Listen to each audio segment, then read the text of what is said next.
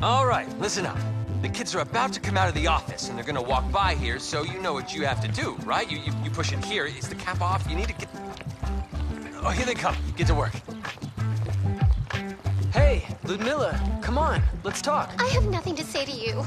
You don't have to ignore me. You didn't speak at all during rehearsal. I'm sorry if I did something to upset you. But I admire you a lot as a singer, and I really want to work together. For me, it's an honor to work with such a star.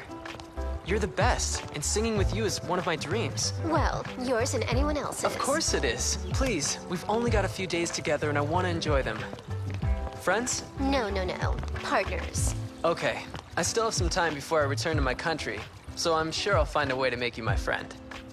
You know, to me, you're really special. Mm-hmm. Mm-hmm.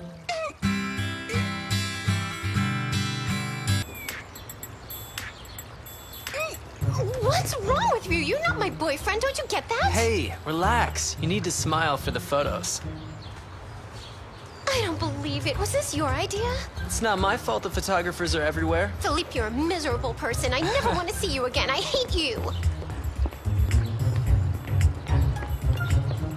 Perfect, Felipe. Explode!